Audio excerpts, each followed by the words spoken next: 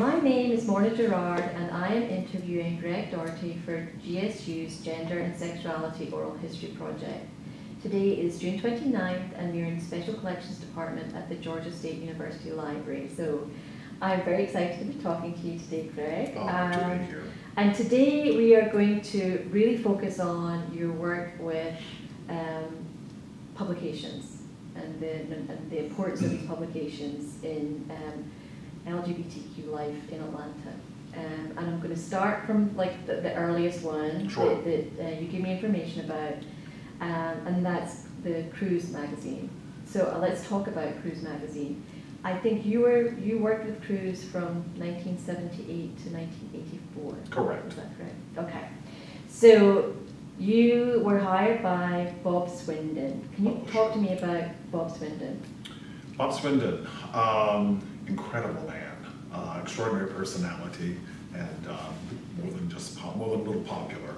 Bob um, was part of a uh, network of national gay publishers, and he um, founded Cruise Magazine and opened up basically Atlanta as the hub for the gay network. That was a weekly publication that was distributed here, digest size, and a national eight and a half by eleven magazine monthly publication that was sent out to 21 cities, as best I can, 21 cities approximately. When you say digest size, tell me what that means. Digest size is your program's playbill size magazine. Yeah. Yeah, we're talking, this is digest size. Okay, And then the app eight and a half by eleven is considered magazine. okay, And, and um, even though they both are in definition a magazine. But pres- provided the national publication. Obviously, it was a collaboration of different publishers and with several other magazines around the country that were local based. And in particular, there were eight different cities that provided articles, information, so forth and so on. And they had some agent, several agencies that provided national information.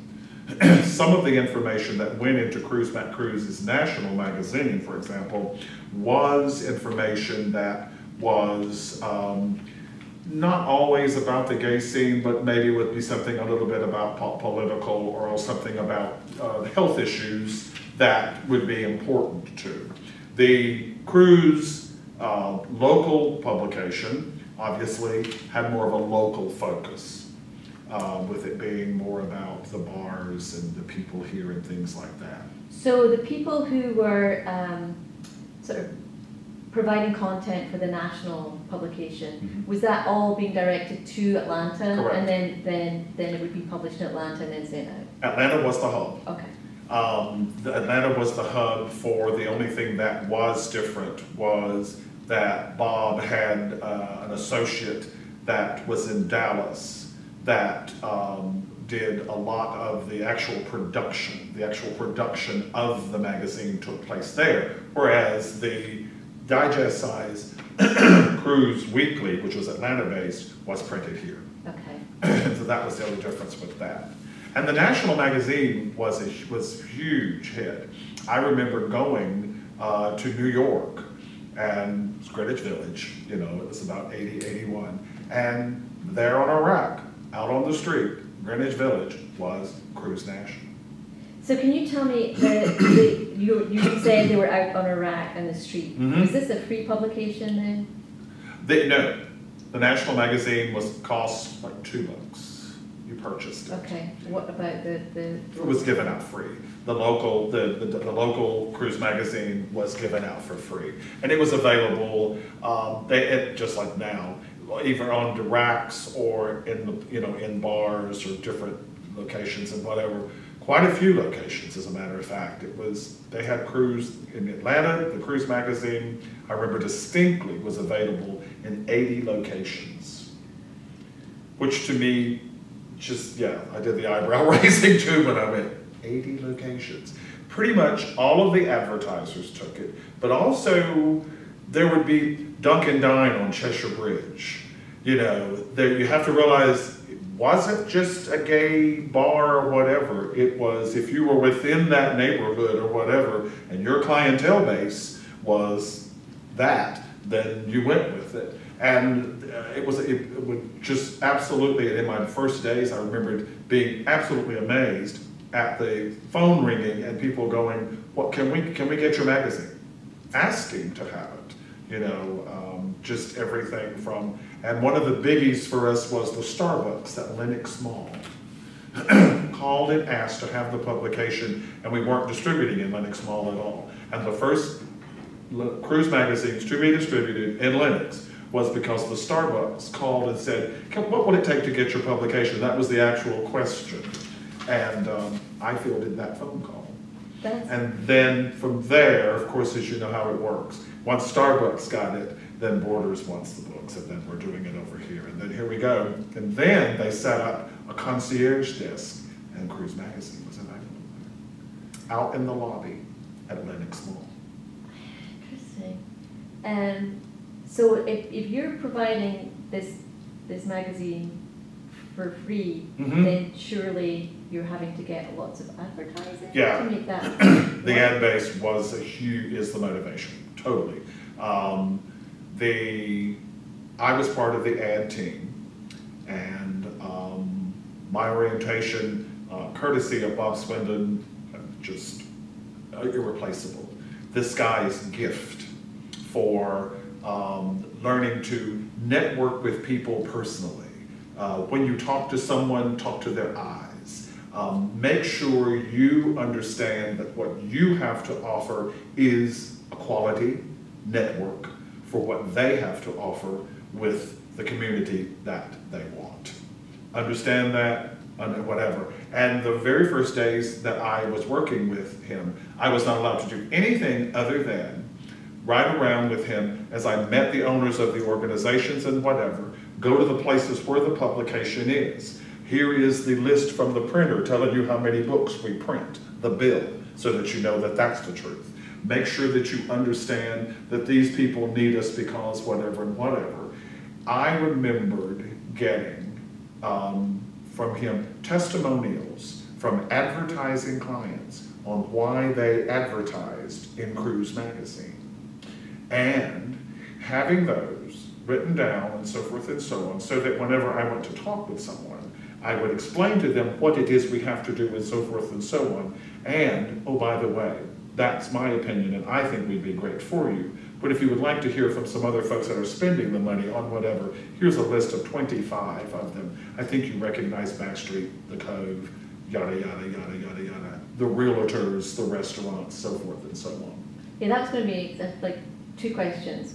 What, what was it that people liked about, about Sure. advertising? Um, and then who, like, that you've said that there's, there's realtors and I want to Mhm, know the more about who's, who's, who's advertising. And, and, and as, and as we have this conversation, that's going to change with the different Yeah. publications. But the, the big thing with, um, the want was, in that day and time, the community was so different as far as its needs and wants. And what Cruise, not Cruise Atlanta, as opposed to Cruise National, what Cruise Atlanta provided was information mostly on entertainment. That was the bulk, uh, because Atlanta had a lot. And, as I might have to say at this point, one of the other things was not all of the entertainment, majority, but not all of the entertainment, was gay oriented. A lot of it was, of course, the restaurants and stuff and things like that, but we had movie theaters running ads, we had whatever. But the bulk of the information was where to go and what to do, you know, to have a good time. Uh, the focus was uh, more strongly towards the gay male base because that was the constituency. Uh, but women were featured in it, very, very much so. Um, the, and, um, and then one of the things uh, that I found uh, were basically the bread and butter for was the gay bars. Because you're talking about early 70s, uh, late 70s, early 80s, because I got here in 78, but uh, in the fall of, and pretty much went to work. My first issue that I had anything to do with came out for New Year's with, with, with Cruise Magazine. Uh, so I went through the orientation and met all the folks, and he took me to the very top. I started by meeting Carmine Vera that owned Backstreet, you know, Lloyd Russell, The Cove, and all. These were the largest, these were the most, I mean, line out the door, you know, organizations. And, uh, and if you were gay anywhere in the United States and outside of, you came to Atlanta, that's where you were going because of the view on that. And they were also these, especially Backstreet, were were uh, were bars that were not 100% gay, you know, but they were the 24-hour stuff. Though.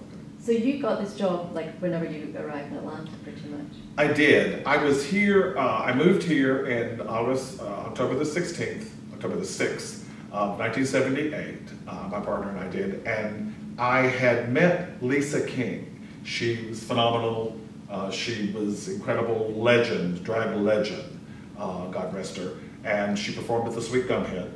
And we would come down to visit Atlanta and go to the Sweet Gumhead and so forth and so on. And in going to, and I met her. And then when I said I was coming down to visit, we're looking at possibly coming to be here, she said, well, stay with me. so then we came down, we stayed with her. In my going to the Sweet Gumhead, I met the manager of the Sweet Gumhead, who was John Austin. And on one of my visits, I think it was the second week I was here, I moved here to live. I was living here now. And I went in with uh, Lisa's clothes was my thing. I'd go in with her stuff that she was going to perform in that night before whatever. And went in, and as I walked in, I said hi to John, yada, yada, yada. And he then goes, Greg, I'd like for you to meet someone. This is Bob Swindon. He works with Cruise Magazine. And I remember, I will never forget that he works with Cruise Magazine. And my first question was, Hi, not pleasure, nice to meet you very, very much. And what's your position? And he proceeded to look at me and go, I signed the checks. Those were the words. I've always felt like I should print a t-shirt with that on it.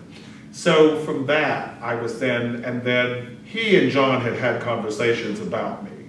And it wasn't exclusively the reason he was there, but I was one of the reasons he had come to Cheshire Bridge and had come to the Sweet Gumhead was that, and also to pick up their ad and some other stuff and whatever, but he knew I was coming.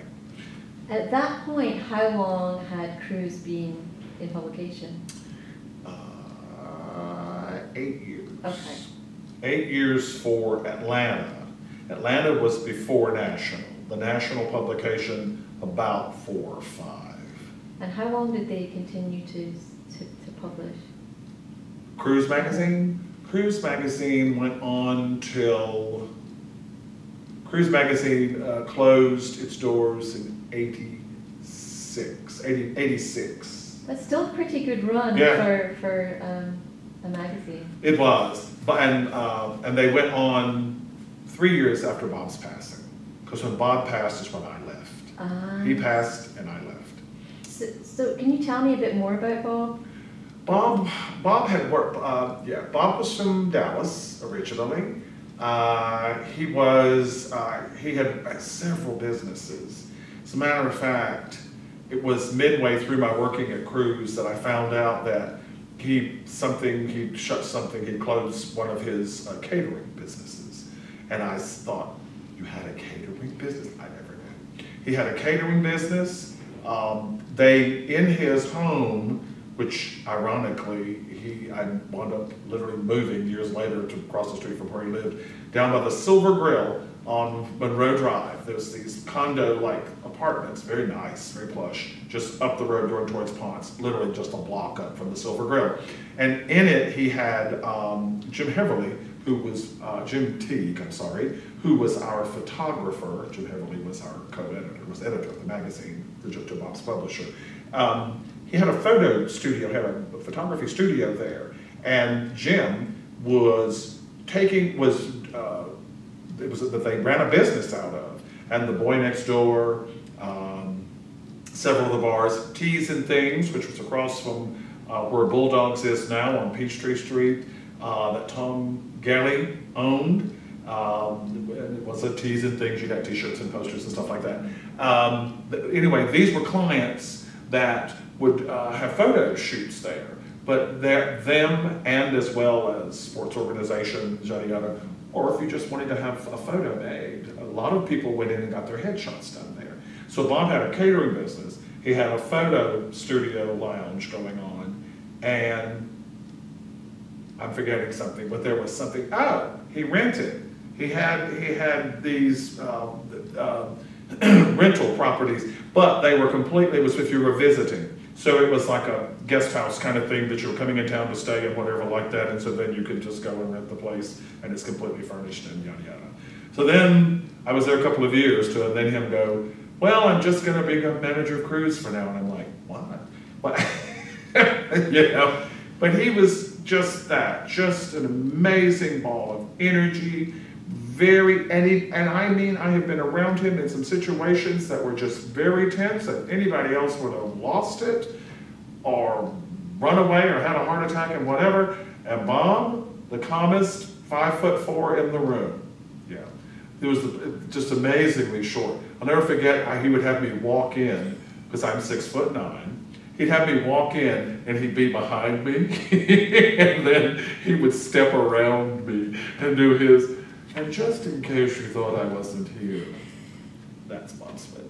Extraordinary personality, very professional, very driven, and in the midst of, and I learned this from him, and thank you for it, Bob, in the midst of anything else that's going on, he was still focused on the reason he was there, still there on it and whatever.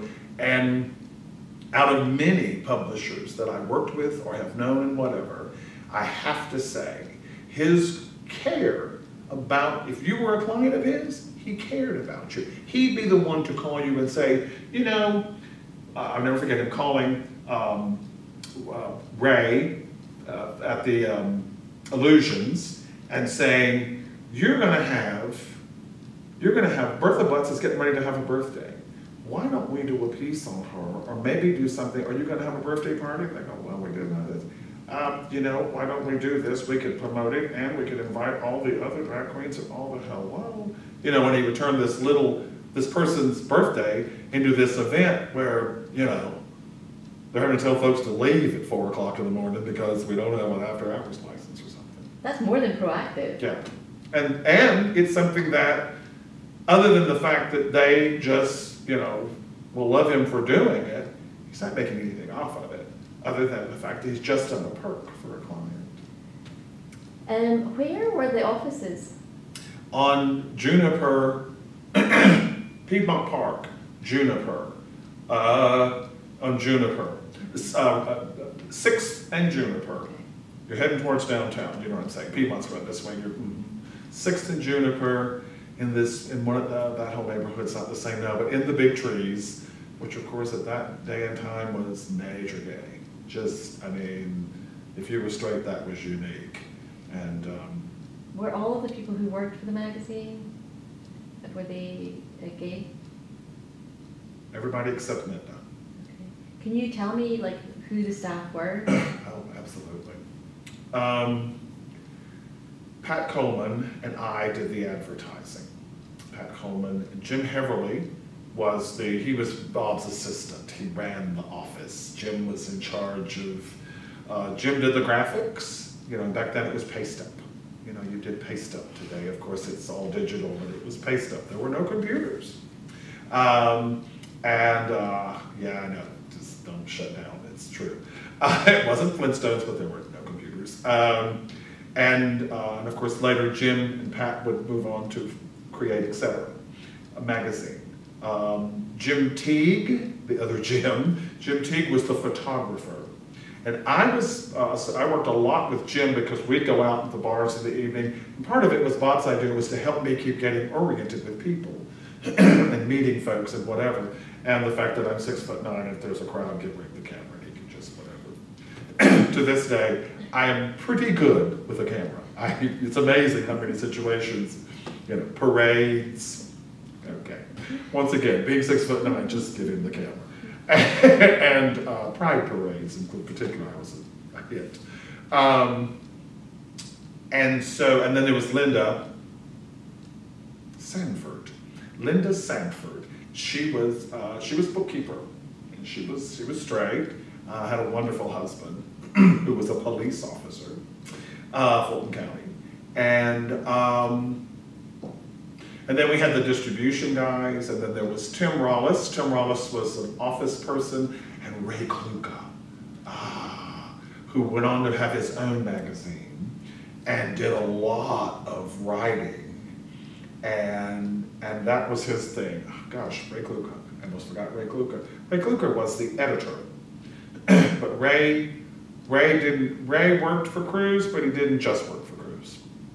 And, um, actually it was via Ray that I realized you didn't have to have one paycheck. And as you have known, I diversified myself later on. But um, Ray did a lot of the articles, and um, and then of course on top of that you have contributing writers. So that's how a lot of the other stuff came in. But one of the things with Cruise Magazine that was very unique as opposed to the other publications I worked with that even became more aware of the industry was the fact that a lot of the stuff was what the clients are doing. we didn't do a lot of things if you weren't a client. And God help you and may you rest in hell if you made the list. People have a blacklist. Bob had the list. And it was on the back of the bathroom door, and it had a star with the list in it. And literally, they would, he'd just do it on this, type it on this thing, and put it on a label thing, and it went up in there, and it was under glass, and that was it. These were organizations, sometimes people, mostly organizations that we do not, we will not, we cannot, we won't. Is there, was there a reason why, like what? Something they had done. There's something they had There was a couple of them that, that it was justified. And to be honest with you, you know, uh, I run a business now and you have those folks because they've done something bad to you. They ripped you off. Uh, they lied to you. Uh, they've done something that's, that's tried to harm you or your business or those that are the foundation of you. Uh, of gets back to that whole professional business thing where you respect and look after your foundation. These are the people that support you and, you know, allow you to buy that loaf of bread. If this is someone that's got their hand in the cart and are trying to undermine you and take away the foundation and deny you that loaf of bread, then probably we should just pretend like they don't exist. Fair enough. And that's just professional, I think. Now, you were their first African-American. Uh, Correct. Was- Was that challenging or, or was it an I- easy? It, it was interesting because what I did find out was I was the only African American employee for any gay magazine in Atlanta, Georgia, period. And that part really kind of shocked me. The only other ones that I did know that worked for publications did something like uh, uh, distribution of books. I have to give that. That was there was there was that would go and put out the books or, or work with, um, or clean the office. And I, I really remembered being just, I said that to Bob, and this was the first, I don't think I was there a week before he mentioned it to me, and, uh, Teague told me, he goes, you know, you're the first black guy to work as a, he says, you're a staff member sales rep on the paycheck hoo-ha, and he goes, whatever, and he goes, and Bob's really putting you out there, I mean, even as much as us having communicated with a couple of the clubs where um, African American patrons trying to get in the bar were asked for an extra ID. And we were, he took me and introduced me to two of the owners. Of, refused to talk to the manager. I want hooty hoo. And uh, was Backstreet in the Armory. Backstreet in the Armory, heavily Backstreet, would ask you for a second ID if you were black trying to come in. And, uh, and Bob took me over and I met with um, owner, Backstreet, Carmine Vera, and I met with uh, the Colonel, Bill Copeland, at the Armory. And in both situations, we were told, they you know, we had a conversation about the fact that I was not to be asked for an ID, second ID. As a matter of fact, this is Greg, he works with us, you've met him, tell your person who this is. He probably shouldn't have to pull out his ID at all, because this is Greg, it's not hard to forget him, hello, you know, and if that's the case, probably you should probably hire a new doorman. And, um, and Bob took it further and said, oh, and also if he has any friends with him, that same scenario goes for them. And if you have a problem with that, those rates you've enjoyed, you might want to put your head between your legs. Kiss them goodbye. Did you personally, in any other places, have problems with this, this, this of double Uh-uh. ID thing? Uh-uh. Okay. None. I don't, I don't, I, none. The only time, no. Mm-mm. And it was, and even after that, communicate, even after those conversations, I, had there was a couple of times I did. I had twice I did at Backstreet, even after that, and I, I left it alone. Uh, they, I just went, Gregg Daugherty and I worked for, you know, the Cruise magazine, and I pulled out my business card, and they just kind of went. And then I remembered he got up and went and had to go chat with somebody, and then the manager, and then here comes Mike Ruffin at the door, just going, Greg, Mhm. you know. so it was just a thing, you know. But that was, um, and it was really unusual because you, you just asked the question, do you ever have that? And, and no, you, you, there was no other situation with that. There was so many. The other clubs were very mixed racially, very, you know, you had some where you didn't have maybe so much, but, you know, it was just a lot, very, it was just that. And I remembered one other club, there was a slight issue for a minute, Far Library. For a minute, they had an issue about the, the card thing, and then, and they undid it. Was right when I was here in the beginning, they, there, was somebody told me that they had asked, they would ask for, you know, the card and whatever and all like that. And then they got over it, because, and then I never had a problem, because in the, the first couple of times I went, I was with Teague and we were there to take pictures, we were working, you know, and it was, you know, and so then they once again got it, him and Teague, okay, you know. And, um, Well, I want you to talk me through what a normal, I- if there was such a thing as a normal day for you, like what your, like day to day, what you, you get to, like, what did your work day look like? Depends on the schedule. Um, if we were, because it could go from me making sales calls to me making, literally going and visiting someone and whatever and chatting with them about stuff. Or it was me doing some of the company errands kind of stuff. Or, and this happened, a good portion of my week was working in the office.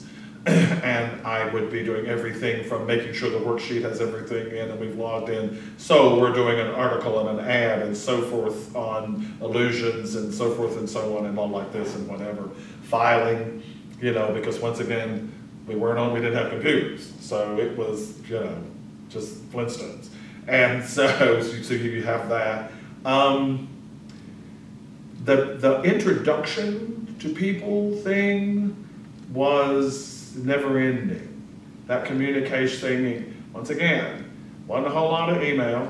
One, so if you're going to get out there and be seen and whatever, we had to go. So a lot of times we had, and this was, and there was there was a schedule in the art room, and it was who was doing what and going with who and whatever you're going to do. And so then I would just, you know, be assigned to, or Bob would quiz me on, and usually that was a conversation you had the day before for tomorrow. Uh, but there was a weekly itinerary, and by weekly it could include Saturday and Sunday. You know that, that that's that's not you know that doesn't that means nothing. Maybe you don't we, may not be going to the office on Saturday and Sunday. There's really something there from there, whatever. But in my case, I really liked my running with Teague. It was I I really liked it. So why did they, why did they pair you together? I think it had a lot to do with the fact of me and Teague just clicking. We clicked immediately, and um, and I got a tremendous interest in that camera. I got a tremendous, you know, and I felt so much that what the publication did, because if you look, if you look through the books, there's just a plethora of photos, and he was good getting that photo that would give you uh, motivation for a comment, motivation for a conversation. He was good at getting that photo, that image, that face, that side, be it the shot of a drag queen in the midst of a, just an emotional whatever, to that perfect shot of the stripper, yay, here we go, you know, all of that, or conversation or whatever, and faces and people. And then one of the things when we would go out, that he would, a lot of times, he would, I never forget, this was the, the second week I was working, he would have me look at the photos of the people, and I remember I had this magazine, I wrote their names, and whatever. Then when we would go there to these places, he'd have me, because once again, I'm the tallest person in the room most of the time, um, find them. So if I want Tiffany Arieagus, Lisa King, I want you to find Charlie up. If you see them, whatever. If they're standing around talking or whatever, whatever, whatever, then I a lot of times would be the one that would come up. Charlie, how are you doing? Bless your heart, it's so wonderful. Can we get a shot of you at the bar, yakking with your friends, whatever? Or even a lot of times I would set up things where here's celebrity hot bartender that's yada yada yada, and we've got Charlie, and we've got these folks, and then I had to do this whole thing with going, is it okay if we take your picture because yada yada yada yada yada? You're going to be in a gay magazine and your mama's going to know. So, and um, I love doing that. I love doing that, and so I got to where I did that, and then I did it a couple of times, and it got back to Bob, to where Bob then went, so you have uh, the knack for, and I did it. I wound up doing it all the way through to going into my own business when I was, you know, doing more stuff that was more theater oriented. You know, I just because I, I love the arts. So, as somebody who's like very recently arrived in Atlanta, I assume this was a great way to get to know Big the time. community just generally, time. the drag queens, the Yeah, yeah. people in the bars, all of that stuff. My first friends were Lisa King, Charlie Brown, uh, Tiffany Arieagus, who didn't live here. She's from Florida, but she'd come up and perform. And I wound up knowing her all the way into 2000 and hoo-ha when I was going to Florida playing softball and I'd run into her again. Um, but yeah, a lot of that. And male lead guys, because back then we had lots of those, which we did R.C. Cola, um, you know, Ron Ellis, just tremendous amount of that. And, and in many cases, um, I would do these, we do these photo shoots. So you have all these models and stuff and whatever like that. I mean, we had this photo shoot in the middle of, there was a, uh, there was a hotel, it was an apartment complex on Crescent, um, back road, and it had a swimming pool in the middle. And it was to do a, um, a photo shoot for Bailey Tire. And Charlie Brown was the main whatever. Charlie Brown and six guys in their thongs. And so we're back there, and so whatever. And so my job was to just kind of, after I got this orientation from Teague and from Bob on what we're going to do, so I went, okay, we need to move this around, whatever. We're going to put a raft in here, and you guys are going to whatever. Now, Charlie, I need you to rescue the guy, whatever, like that. Okay, good, well, let's do it now. And so learning how to just kind of do that and, just getting that feel for things. Now, all of a sudden, because we've had this photo shoot, well, these five guys, It's Clay, it was Roy Rocks, Roy, Roy Baum, who works at Rocks right now, the restaurant on Cheshire Bridge, whom I see about every month when my buddy and I go there. And so that, yeah, my first friends were the people from the I mean, the bartenders, the managers, and uh, all of that. And that's who knew me, you know, right off the bat. And my, my husband worked, um, he had two jobs actually. He was part-time handyman person, and he worked for a vet. He was he worked with veterinarians when we were in Raleigh, and, and he did. But then he moved here. But he was also real good at fixing your plumbing and in the bathroom and whatever like that, whatever. So that kind of stuff. So uh, whenever we go places and do things, and of course it was he liked that because his introductions there, and I go, well, yeah, and if you knew this and whatever, well, John will be glad to help you with it. So he goes, so all of our friends work in the bars. So That's a, that's a great introduction to Atlanta. it, it really is, and very different. And a lot of people go, so you did the average person? I know, I didn't. Um, so now, you, can you hazard a guess as to how many um, organizations or people place ads with, with Cruise? Mm, That would be difficult. Uh, that would be a little difficult. It was like a sixty-four page magazine, but you now there's maps and things and whatever. That's, that would be a little difficult. You said it was like bars. It was bars, it was restaurants, uh, motels. Uh, it was interesting the range of, of, of businesses that did do that. Um, you would have, you would definitely have ads for uh, performances, different events, and things like that. Um, you know, legitimate shows, kind of stuff. Um, and but it, but mm, you know, it was just. Um, it was quite a range, just a real range. A lot of, I remembered a lot of things that would happen in Piedmont Park. um, you know, uh, be there concerts or that they would, they kind of, I guess, would want to see some sort of a draw towards, you know, the gay community. It was pretty diverse though, as opposed to the other magazines I worked for. It was very, it was very diverse because that diversity, none of the others did it.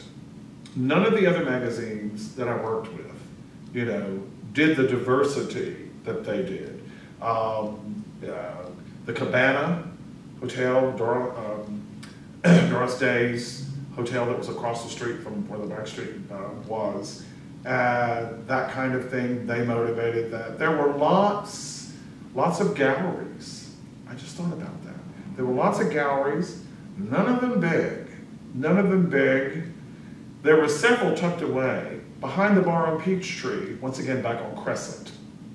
Um, there was the strip, and there was there was several galleries stuck in this building that had been something before. You know the thing, they, they take it over and it becomes a nonprofit kind of thing. Several several galleries there. Um, um, painter, uh, photographer, well, he was an artist. He did multiple things. Tim Burns, he was extraordinary. He had um, an exhibit there. Uh, He had a gallery there. He and Mark Vance. Mark Vance was an incredible abstract artist, just phenomenal. Um, excuse me. So um, there was a mix. Who was reading the magazine? Um, I, I would, well, obviously, I think the predominantly of what, the age range and everything was really wide because I don't think so much of your older were, were so much there with it, except for the fact it kept them aware. Because there wasn't really a whole lot of other resources.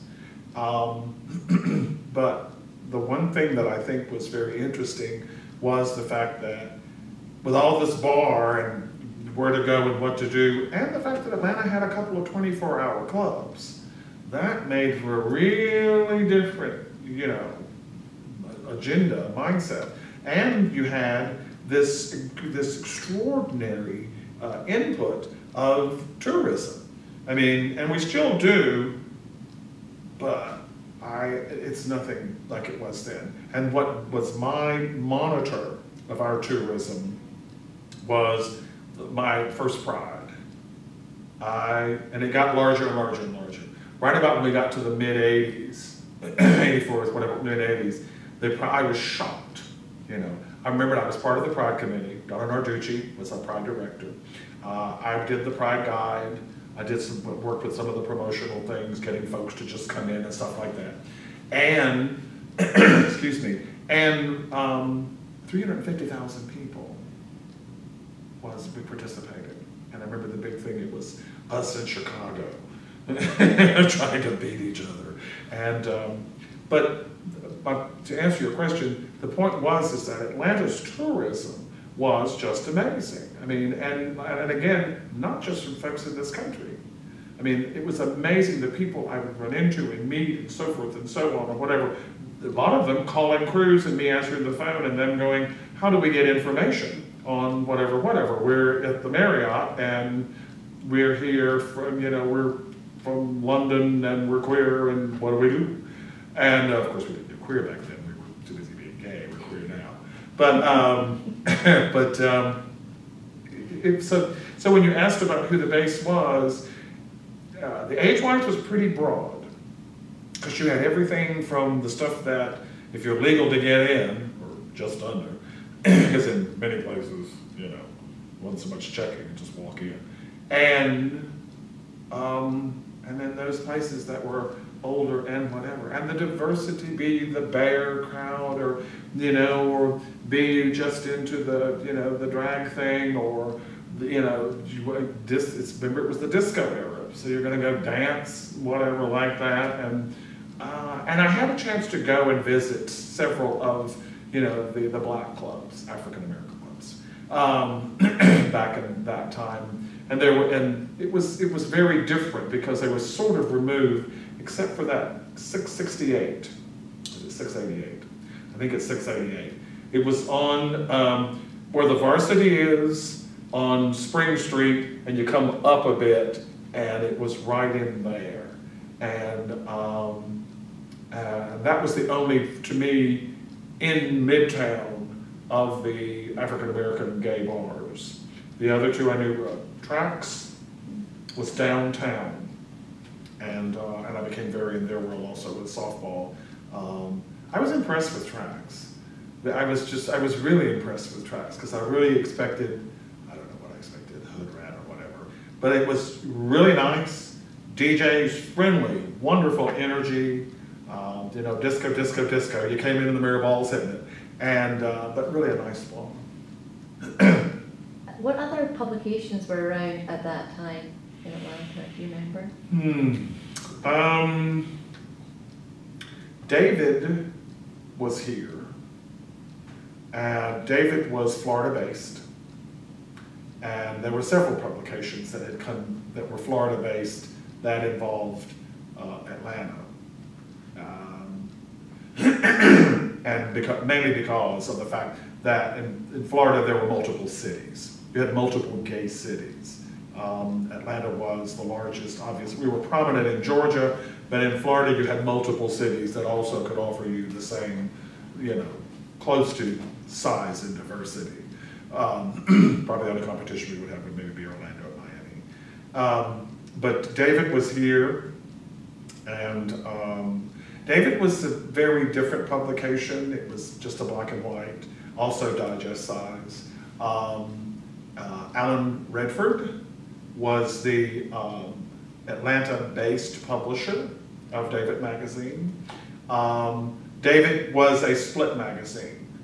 half the book was about Atlanta and half the book was about Florida. Um, and when you went to Florida, you got, the only thing that changed was the cover.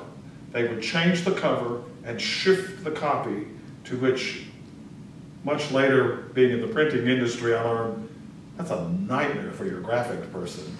And so why don't you just make another magazine and make it just what you want? So, but, but they would include Atlanta information.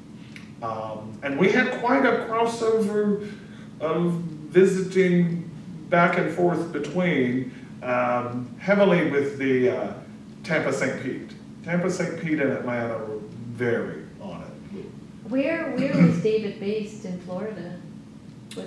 Was David Magazine was based in, it was Fort Lauderdale. okay. It was in Tampa. Hmm. I'm sorry, guess it was. It was in Tampa, and specifically, it was in Ybor City, near the Copa, the big gay bar there, where Tiffany Arieagus performed. Well, let's talk about David because that's where you That's went the, to. yeah. But but before we do that, you you let's talk about why you went, well, why you left Cruise and went. Bob passed away. Bob Swindon passed away. It was in March of, uh, it was in March of '84. Mhm. Yeah, and uh, he passed away. He was, uh, he'd been sick for a while, and, uh, and he, I knew we were losing him. And um, he, um, he'd been going and getting some treatments and things in Dallas and back and forth and whatever. And I, and my leaving was planned and all of that. And uh, so um, when he did that, then I decided I would like to go and work in theater. And I'd been offered um, a job for an interview at the Academy Theater, which was, um, uh, the office was on Peachtree Street uh, in the uh, Marquee Theater. It's the actual theater where Margaret Mitchell walked out and was crossing the street and was killed. the actual theater had become uh, the actual movie theater, which became the offices and performance space for the Academy Theater. Um, and I went to work with Frank Wittow, who is the artistic director, executive, artistic director for the Academy Theater. Um, and during that time, I had met Alan a couple of times, Redford, uh, the publisher of David, who had, who was asking me if I would like to um, work with them. And I, what I did, what I did was, is that I got a job in the marketing department for the, in the Academy Theater. uh, which I'm just thrilled. And to this day, still working with folks. Kenny Leon, who uh, owns, created Kenny Leon's True Colors Theater, still working with him. As a matter of fact, I'm going to do an article on him in our next issue, yada, yada, yada. But um, a lot of what I learned from Bob had focused me on expanding myself into marketing. And it goes back to that very first comment we were talking about, where you focus on the concept. Don't just go in there to sell an ad. Yes, it's the motivation if you're going to keep gas in the car, but at the same time, there's other things you have to do. Provide a service, educate yourself about the things and whatever in the market and where you're going, and become a part of it. Don't just become it, become a part of it. And that was kind of what I did, and I went in. And um, so, in working with David Magazine, what I did initially was there was several clients, more than a few, that I had had from Cruise Magazine that had become attached to me. And even after Cruise and David and beyond, they stayed with me. Um, and um, so in my going to work with David Magazine, which I only was going for like a day or so, hit and run, whatever like that, because I had a job job. Um, I was able to bring my clients into David and do their ad, do ads with them. And then I actually, and I only did it once, um, I wrote the first article I wrote that I actually put in Pulse magazine. And it was me doing a piece, uh, it was called Under the Lights, and it was me doing a piece on theater, Atlanta theater, for the gay community. And Alan thought it was a good idea. He wasn't real crazy about it because it wasn't super gay. Because I was talking about what I was doing, what I did was, what I was doing was, was I was promoting the Academy Theater shows in this mag in this magazine. So I did Under the Lights. The uh, extraordinarily wonderful publisher for Pulse, Ken Store, said to me, why don't you do that for us, expand it a little bit uh, there, and you don't have to be contributing. I thought, you mean I don't have to be contributing? And he went, capish. and um, so I, I began to do, so I would write pieces on different things and different arts groups and different stories and whatever like that and whatever. And I, one of the things it was with David was is it was a test to see if his client base would be interested in theater, going to shows and stuff like that. Um, he thought so, but he was he um, he had Atlanta's you know David magazine, but he did have a superior boss, and Florida did not think it was a good idea. So I literally gave them two. I, I was in two issues, and was told no. And he goes, they don't want you to no, they just want you to bring ads. And I went, not a problem. We each have bank accounts, that'll be fine. But Pulse took the reverse because I told Ken what happened. And so then he just said, go for it, please expand it. And so then I became a staff writer with Pulse while working at the Academy Theater in the marketing department. That's awesome. Um, so let's talk about, because I've like, I'm looking at this. Um, yeah, Pulse is 1984 to 86. Mhm. And then let's talk about Pulse then. Talk about multitasking. You're like, you're, Yeah, it was crazy. what I'm seeing though is a really interesting, you, I'm actually beginning to see your transition into to like the, like how theatre is, is Right. in the arts. Right. It's like you're find, you're really beginning to find your niche. Well, the seed got planted, and I didn't say this, but before I moved to Atlanta, I worked for the Raleigh Little Theater. Mm. Um, and, but there, what I did was, is I volunteered as a house manager, and uh, because it, and there was this attraction to the performing arts. I mean, even my friends would go, "Sure, they don't pay you." I went, "No, I know. I just go see the show and want to help, put out the books, and we chit chat and whatever, and then I leave." And it's, and um, yeah, the performing arts always had my attention. Always, I always had a thing about the arts. Um, even with the fact that I was an art teacher. You know, cool, cool colors, lines, planes, eighth graders learning beginning art. I always had a thing. Yes, that was visual arts, and yes, this is performing arts, but to me, it's art. It's a creative, it's a creative outlet.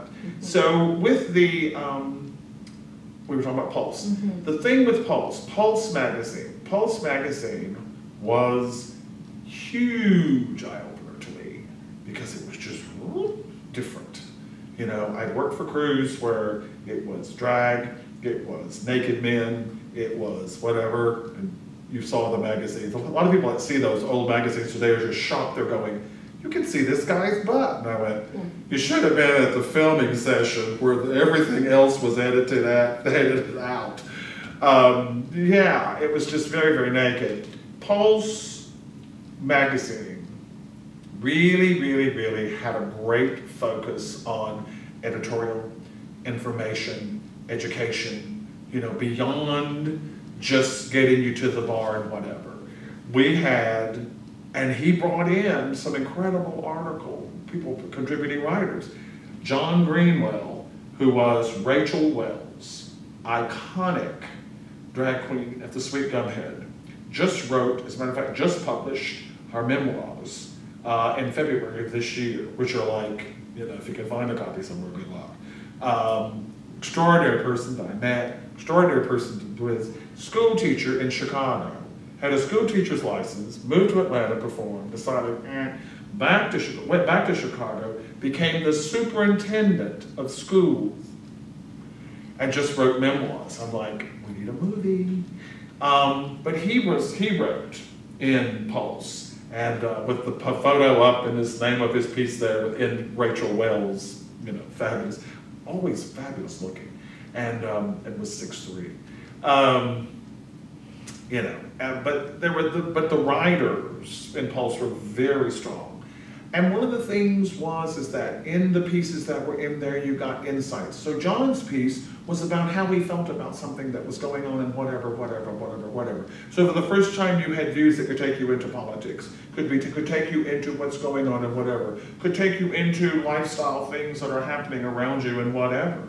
Um, Charlie Brown had an article in there. And then you got off into sports. Pulse was where I learned much more about Atlanta's gay sports scene. Because here comes softball. Here comes the fact we had Dixie Bowling League. Uh, we had a, we had a, we had a, a volleyball group that that played against teams from Amsterdam and Puerto Rico. And you're going, really? Gay golfers? Hello, at the Country Club of the South. I think they couldn't tell anybody they were gay because, yeah, anyway. But um, Pulse was just expanse. So then all of a sudden, the menu really broadened. I'm not so much into to- hoping to get you on a bar stool or to, you know, to have a drink or whatever, or, you know, whatever. Uh, this is to educate you and to, you know, really tell you about stuff. B- books, they would have at least one or two folks in there that wrote books, or Bill Bagwell, whom I will work with much later. I met him then. He was a playwright. He also was the editor of Guide Magazine. Um, but he was a playwright. He wrote several plays. One of his pieces even wound up going on tour. It's called Camp. And um, which had nothing to do with the movie, but he was, they actually had him referenced. He came and chatted with. Um, so that kind of stuff. What, so if it's, if it's more, um, if it's not as focused on getting bums on seats in bars. Correct. Um, do people have to pay for that? So it was a free. It was a free So how magazine. did they, how did they afford to? Free magazine, ads, was still full of ads. It's just your advertisers were not, it was interesting, and the ads weren't cheap. Um, th- th- it was interesting how they had an ad base, and this is where I learned about getting someone to buy a package of, just like I do now. I have a season advertiser and you sign up for all and you get a better deal. That also now gives us a financial foundation under the house, yeah. And they were the first to- that I, I went, okay, thank you, Ken. And, but the thing with it was, was the advertisers stuck with fought over being in there because their clientele was older. Their clientele was older. They were not really big with the kids, the 20 something year olds, mm, kind of. But then if you looked at that magazine, you got it. If you looked at the advertiser base for that, but the Farr Library demanded that back cover. Would, the word was, what do you want for it? How much? You know, that, that cover, those covers, were, they were the same constantly.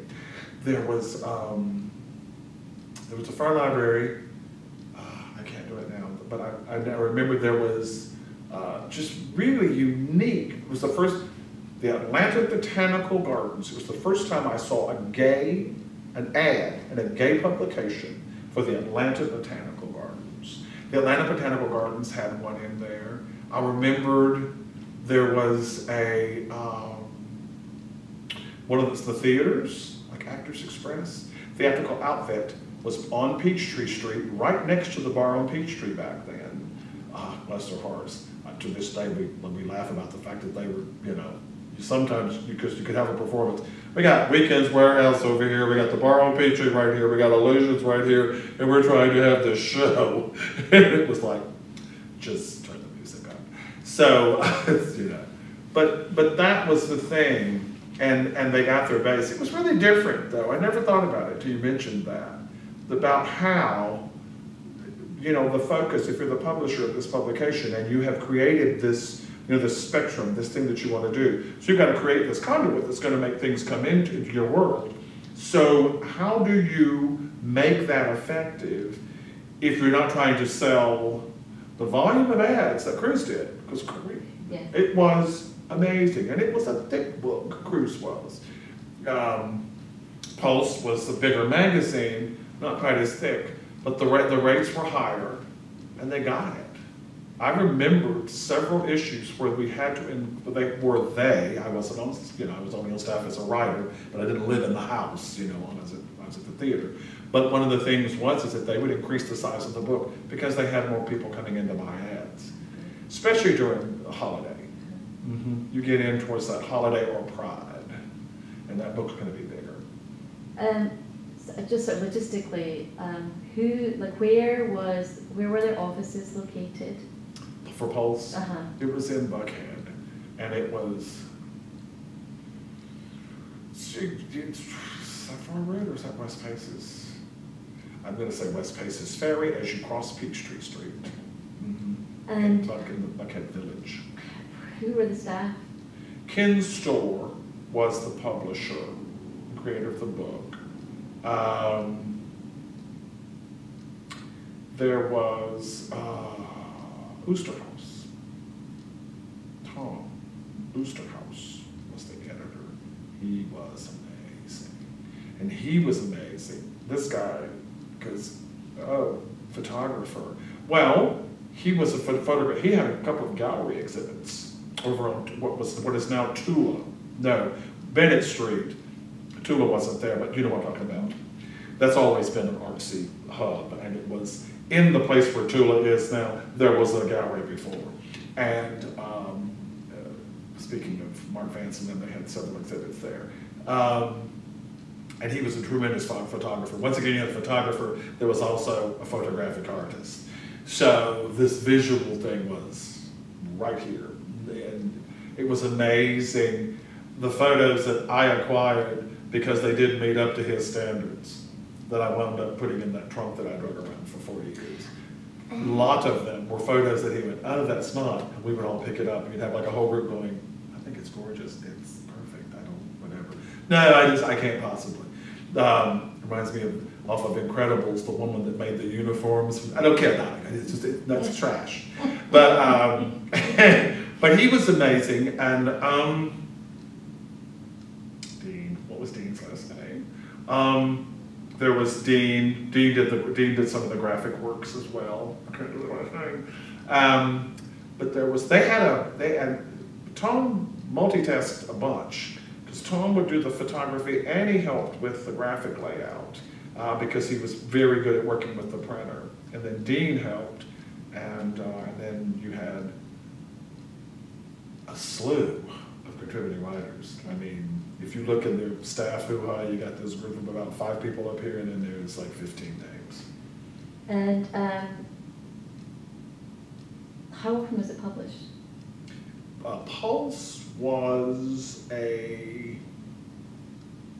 that's a good question. The volume, you had volume and number, and Pulse was, I think Pulse was a monthly. Okay. I think it was a monthly. I think. I think it was a monthly. It was a monthly. And was it circulated in the same way as like mm-hmm. the other ones in bars and It, stuff like it, that? it was, it was one of the, but it went a little differ further. It, you didn't, you could find it like in the galleries and so forth and so on, and it was really Buckhead focused, really much more so.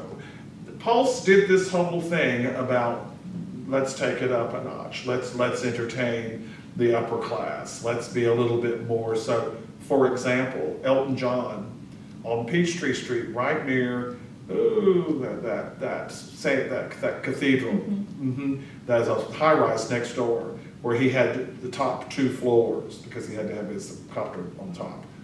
Anyway, and he moved in there, and one of the things that um, encouraged, uh, I'll never forget this, this is incredible. One of the things Elton John made known to everybody was is that while he was there, he needed to have a place to pick up Pulse magazine. And four of the shops in the area called and said, what do we need to do to get a display rack here so that we can let Elton know that whatever. But what it helped me understand was, is that the distribution for that magazine was really a lot there. Because they didn't have, it was very hard to find out where the book was. I remember that. Even if you look in the copies that I've got, don't really, and I think, well, you know, if you don't tell them, they won't come. So, um, but it was very Bu- Buckhead.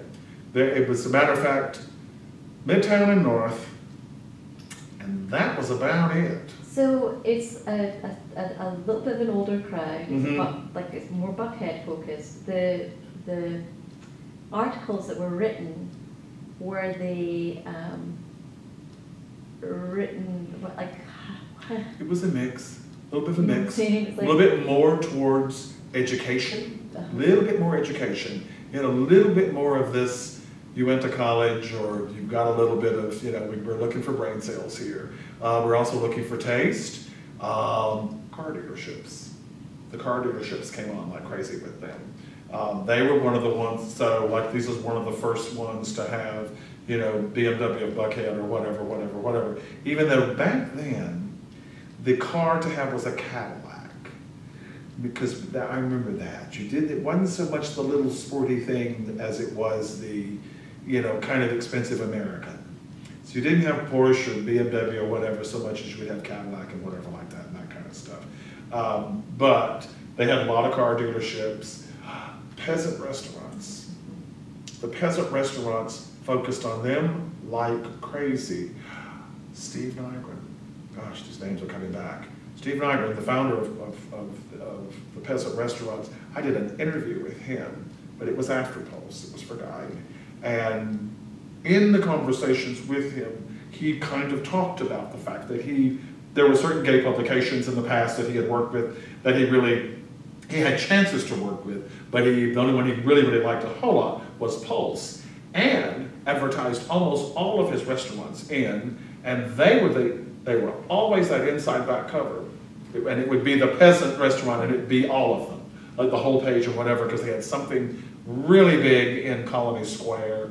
And then there was one very near where Crawford Long, across from Crawford Long, there was the Pleasant Peasant. Mhm, That kind of stuff. So and Steve Nygren was the one. So you see, that was the kind of thing. So it was towards the affluent gay, and they would they had quite a few for the ladies. Quite a few gay Did, women. was the writing still very progressive, or did was it sort of you know? Mhm. I think it depends on the right. It depends on the who. You had some variety in that. The only thing I can tell you is that um, Ken Store was very tough on what you put and what you did.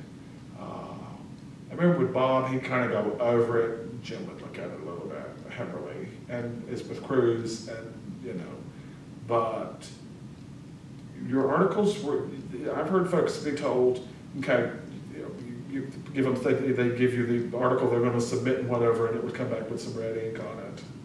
With that, you know, that little flash thing, which we all know means edit out. And, um, you know, or there have been folks that have been told, try and turn this around, or they get some notes, meaning, I don't like your focus. And, and if, and if you didn't get it back in by deadline, well, we'll see you next month. And your paycheck too. So. So were you paid per article or, were you- yeah, okay. Mm-hmm. Um, uh, but you already had another job at this point, Mhm. so. I was in the it- it marketing department okay. at the Academy Theater, and, um, and actually met, uh, who's actually a best friend now, but also, uh, Ken McNeil. And he, uh, he was in the box office at the Academy Theater, and he is now the senior box office manager for the Woodruff Arts Center, and, uh, and one of my best pals. And I met him then. He later co-worked with me, uh, when I went into business. He was my art director, my first company. So, yeah, Wait, so, sure. so it, I guess that you're working, you're working like, you're immersed in the arts anyway. You did, did you have to go out and go visit the different theatres, or were you writing about specifically what you For, already knew? for Pulse, I wrote, well, no, for God, for David, I wrote exclusively about Academy Theater, Okay. which is where I worked. For Pulse, I expanded it, but if, to be honest with you, um, at the Academy Theater, we did lots of rentals. Folks that would come and perform there, like the Carl Ratcliff Dance Company, whom I did their playbill, and was one of the first programs I did actually. and uh, for a professional company, I did some game theater companies. But the um, uh, but we had other folks that would come in and rent the space and whatever like that, so I could do their stuff. But then the Woodruff Art Center's down the street. I'm very involved with that. So we're going to the symphony, we're going to the Alliance, we're going to see the you know whatever whatever like that. Um, so I would do those, but I would I got into getting around and yes, that's the seed that planted me for the job I'm doing now because it had me going around and going, and because I'm now working with, because we had an ensemble cast, uh, which I said like to Kenny Leon was in it, Rosemary Newcott, who is the assistant director for the Alliance Theater today, she was in our cast, um, just on and on and on. And so when they would go and do things, because they would go around to shows, with, I'd go with them you know, and in many cases I drove.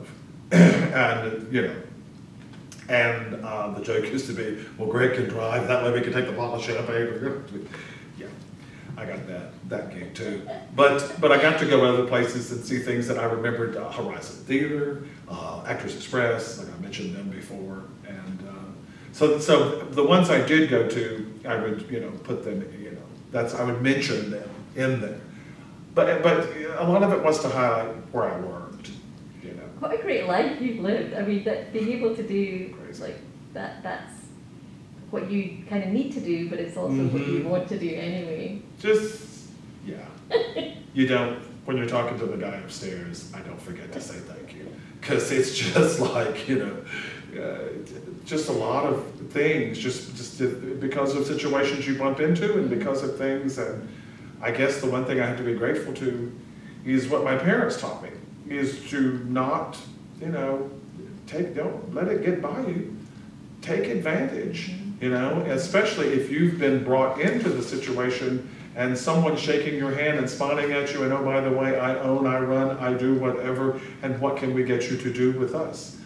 Then, you know, provide your information, but at the same time, try to do things that you are capable of. Just stay focused, don't, don't, you know, don't put yourself in a situation that's gonna not work out, but, you know, put your coins on the table. That's how it seems to have worked really well. Yeah, been very Um, fortunate. It's great.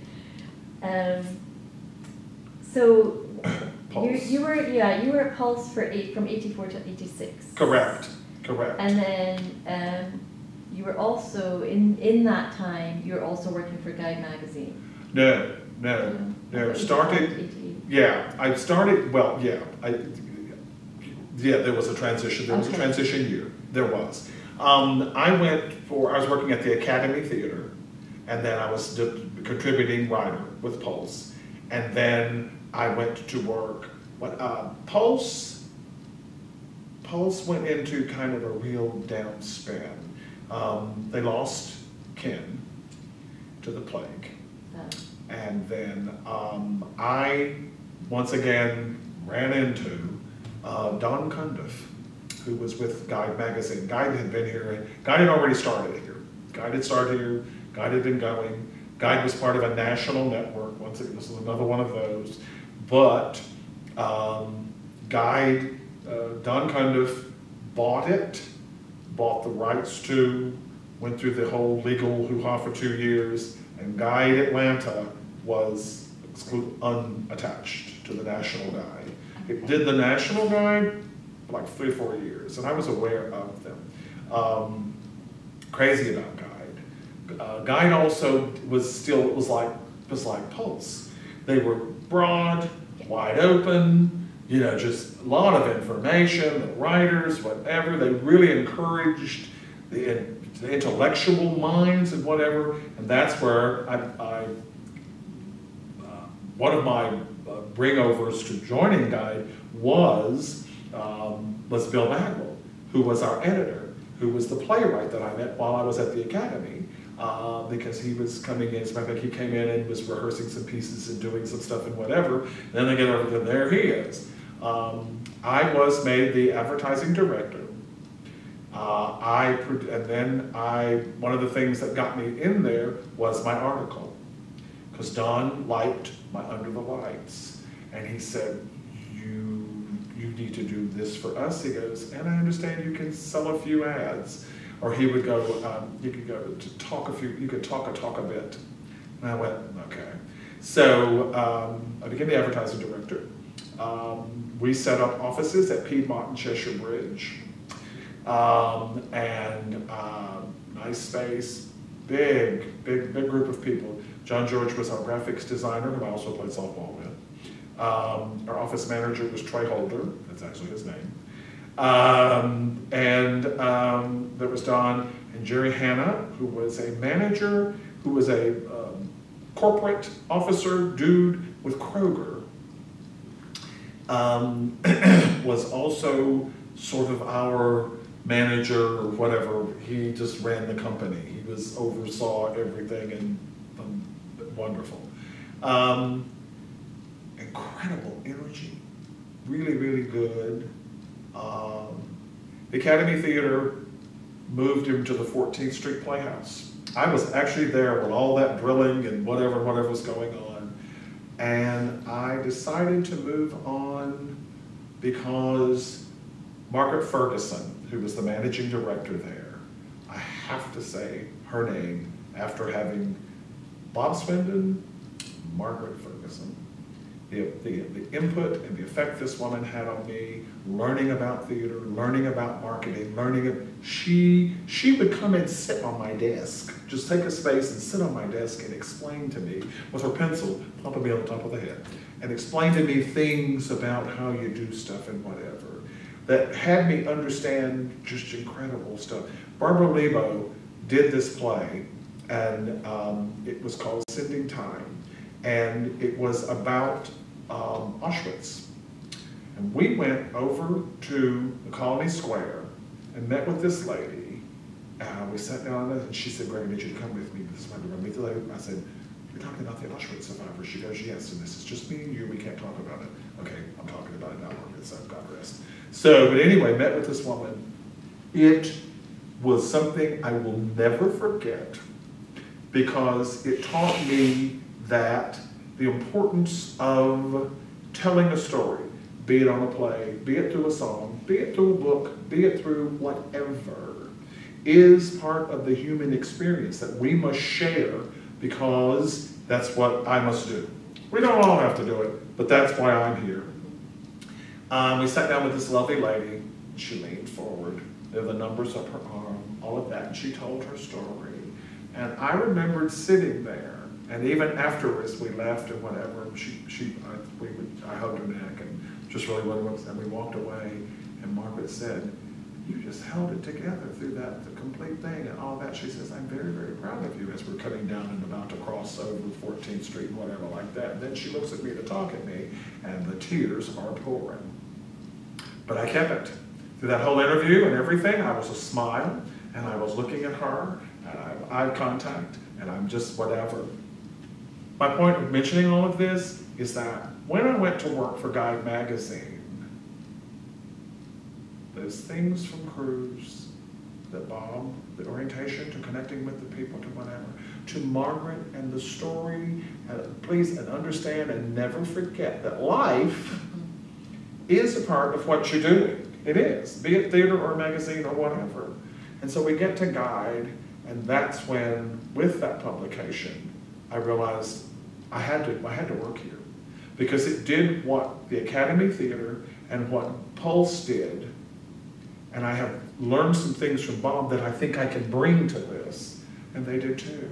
So in that case, and then I started writing Gadabout, which was about getting out and going. Have the race car and my logo running over over my head, whatever like that. Um, I'd have a speedy Bentley with the chauffeur in it, you know, just kind of all that.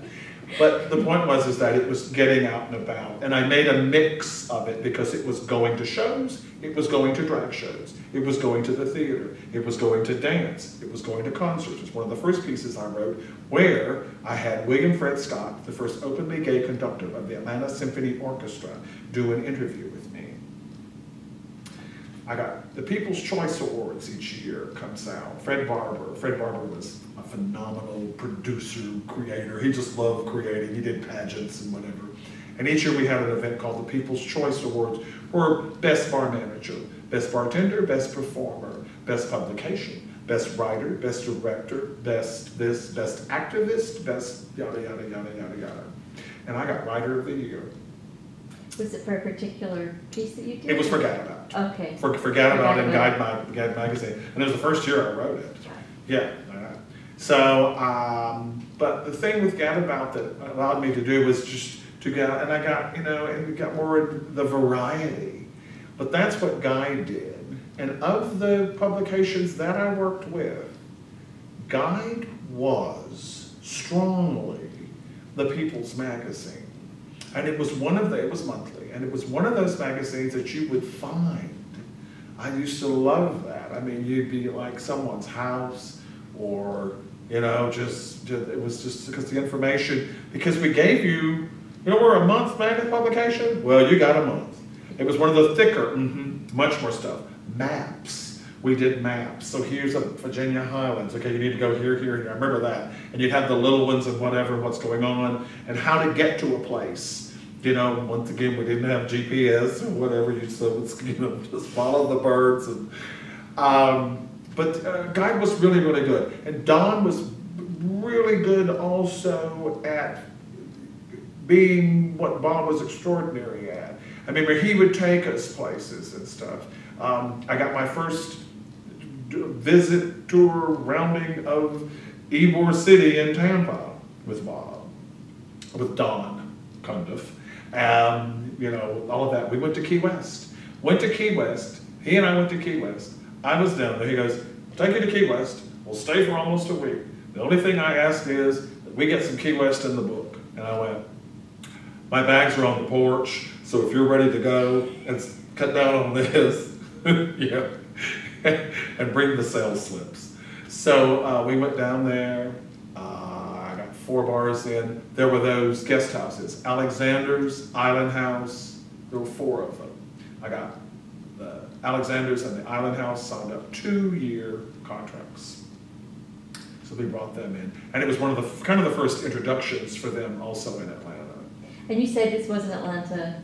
It was Atlanta. It's Atlanta focused. got exclusively. Yeah. But they would talk about places to go for you to travel, Exactly. but it was for Atlantans Yeah. to travel Yeah. to. And we had some of the stuff, we had places in Tampa, would tell you the bars and whatever. And then we would do pieces and articles and stuff to give you more, like places to eat in Key West, where we had, now had connections with these folks, and we would have them, you know, you know, send me your menu. What, what's, what, what do people like to eat? You know, why, why would I, why? Why should I come eat? Do tell me that kind of thing. And then, of course, performing and stuff like that. Yeah. And then the next thing you know, we had New Orleans and Dallas saying, can we send info? Yeah. So, go ahead. And, and so you said this was very much but, but for, uh, uh, for the people, it's like for everyone. It was, it was much broad, much broader than, than Pulse, because it was, because he, it was one of the, also the first, I didn't think about this, it was one of the first times also where you had a little bit more towards the African-American gay community in Atlanta.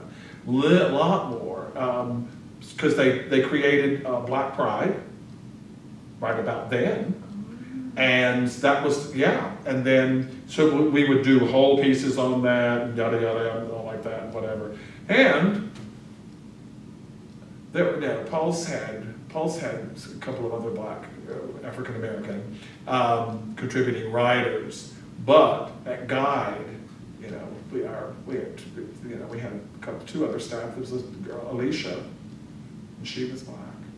Yeah, so it was just real, real different, and it all depends on who owns them. Just like anything, Yeah. you know, it's who manages it owns it. And again, this one was for free to, to anybody. It was for free, and they also printed one of the larger distributions um, that I had known. Not, not bigger than Cruise, but they printed more than Pulse did. Okay. Um, so you, you're just like, you find your niche. It was, it's, yeah, I'm not sure it didn't find me. Well, Because yeah, because I was out there just, you know, it's, it's amazing, uh, as John would say, and someone else taps you on the shoulder. Yeah, He goes, but now, let's just, let's just be very obvious. If it wasn't for the fact that I had the occupation that had me in all of these places, because I was, it was go, go, go. And we're out there, and so I'm in public face, I'm, you know, whatever. I'm with a photographer taking pictures of whatever. The owner of the bar, or all of the most popular bartenders in every drag queen, whatever. I mean, we're going in somewhere, and Charlie Brown's begging me to do these shots with her. Those jello shooters. Was the nastiest thing. She loved those jello shooters, and I thought, you don't even hear about them anymore. But back in the day, they were just this, and I thought, why? And um, so, you know, it was just like John Austin, uh, the manager at Swimming Creek Gunhead, introducing me to Bob. These people are just around you, and they just go, Greg, have you met? You need to, and he owns, and he's this guy is the, and we think whatever. And in most cases, I got the job. Um, the only one I did, the only one I said I would just contribute to was David. Okay. David wanted me to be on staff, and I went, I'll, I'll, I'll just put in some ads, and you just pay me. How about that? Because I like the Academy Yeah. Theater, and and how wonderful, you know. And Frank and Frank Wittow, an amazing legend in his own right. So I learned a lot of theater about, you know. it really is like, you just kind of, it just flowed. It's Mhm, like from mhm, one experience to another, almost, it's like, it was It's- meant to be. It's amazing also in this conversation thing, and I'm sure you've done it many, many times, where you start talking about things and all, you know, stuff starts popping up and Yeah. whatever. And in many cases, I have to be honest with you, Morna, in talking about it, there were things I realized maybe I had forgot for a moment, you know, that were part of the steps. You know, so you're going through these things and you're going up and whatever like this, but this is, you know, the what. Yeah. And brought me to, you know, what I do today. Yeah. You know, I- and was working at uh, Guide Magazine.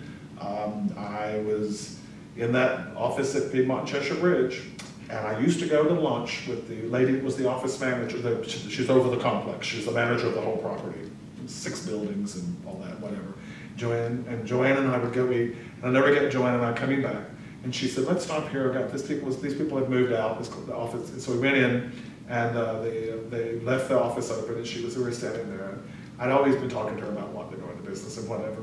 And we're standing at this counter, this nice little granite counter, these people, and she, so I said, do you have to paint it? And, yeah, and try and find someone to move in. And she took the keys and she plopped them in front of me.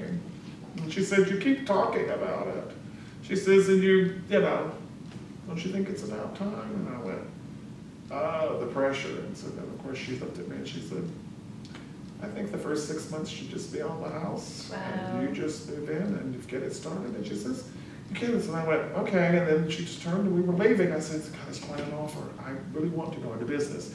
And then we turned around and we were walking out. And I went, you left the keys. And she said, they're not my keys, they're your keys. So, um, Wait, had was that? It was 1988, and it was in the spring. And then I went and went to a meeting uh, for guide, but we also, when I was doing playbills, I started doing some. I had this little thing, and then I went to a meeting. Um, um, Michael Lomax, City of Atlanta. Um, I forget what he was. He was over the, all of the events and affairs for the mayor's office. Um, had a meeting, and Stephanie Hughley, she was one of the one of the largest performing arts marketing, promotion, pr- production managers in the world, actually, um, had this meeting and they were talking about the creation of the National Black Arts Festival, which would be a multi-festival in Atlanta of the uh, diaspora, the planting of the African seed and the arts creative fund.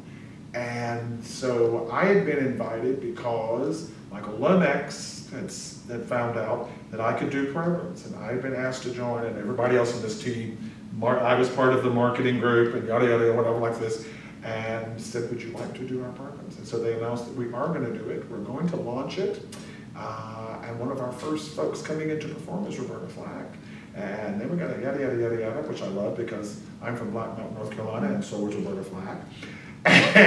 And so, um, I walked out of there, and I sat in the car with my four friends, and I remember I sat in the car, and the keys are in the ignition, and the car's turned on, and I didn't move for a while. Everyone's like, "What's going on?" And I went, "I don't know."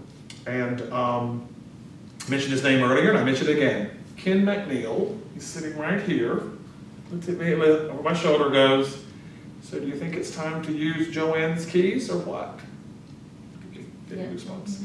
And that's when I, two days later, went and got a business license. And uh, Performing Arts Media, is the name of the company. And I proceeded then to go in and have a conversation with Don and thank him and whatever. And he said, it's time, Greg. And And I went into business for myself, and that was August the 6th, 1988. I keep getting that 6 and that 16 messed up. And so the, um, and so this August the 6th, I will, two things. A, be 30 years old, and for 30 years I've produced, what, did programs and playbills almost exclusively, and then in September of 99 we decided, because we were doing Atlanta Show Guide, and so we decided to start doing one thing. But I will have been in business for 30 years, and also late in the month of August, I will come out with the 30th anniversary National Black Arts Festival program. Wow. And I'm still doing their publication for this year. We'll have our 30th anniversary of that this year. And as I said, I did the playbills before, and then we did the show guide. It was a collaboration with the Coalition Performing Arts that I would do this one book about the performing arts, not a playbill, just whatever. And then after a while, I decided, you know, you can do one thing better than a lot. And so today, I am Atlanta Show Guide with the National Black Arts Festival once a year. coming but we do only show guide. Well, let's talk about it, um, because it's, it's monthly. The Atlanta Show Guide. Uh-huh. Atlanta Show Guide comes out, there's six issues a year, Okay, two months. every two months. Every two months, in print and online. Uh, we're in 46 venues, and that's people that you know. Uh, the very first venue I ever put it out in was Robert Ferst Center. They're still with me. Um, so it's and we only distribute at performing arts venues and Atlanta Convention and Visitors Bureau, DeKalb Visitor Center, and Explore Gwinnett.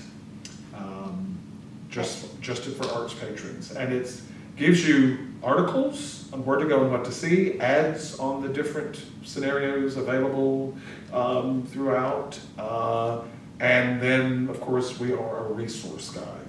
So listings, kids shows, theater, musical theater, concerts, dance, festivals, and activities, which of course we have a lot of right now. Oh, yeah. Yeah.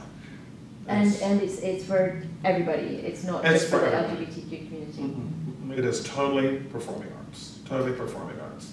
Who, where are your offices? Uh, our offices are off of Stewart, uh, Buford Highway and 285. So how long did you stay in the offices? 16 years. Really? 16 years. I stayed at, uh, uh, yeah, uh, 15, it's uh, 1575 um, 1875 Piedmont Road. Um, and I had that little suite that Joanne took me in was 375C. I was there for about two years and went, because then came the most incredible, fabulous, wonderful, Lord, I'd love to be in it today, office in the back. And it came up and it was literally the two-story building. It was um, 2,600 square feet, which are on kitchen. I had five, six offices, fabulous conference room, elongated, you know, whatever, that you put the flat screen over here. and You got your art up all around and doors closed. Um, you were up, you were in the back facing the interstate, you know, Monroe Drive is coming around by the fire department, that back there, quiet back there, just wonderful, wonderful, wonderful. And we were there, yeah, thirteen years easily. And that was, um, it was an amazing office. And uh, then uh, they changed management and we decided it's been nice, bye. So um, we moved out by Buford Highway and 285 between Doraville and Chamblee. So how many people work with you? We, the joke, we went from 11 to 7. Okay. There's seven now. Um, big difference is the digital. Because we're, it's, I am close to being a virtual company.